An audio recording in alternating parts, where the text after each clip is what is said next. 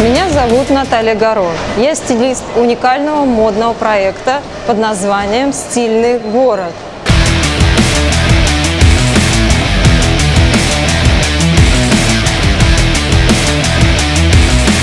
16 июля я подберу одежду участникам проекта и расскажу, как одеваться стильно.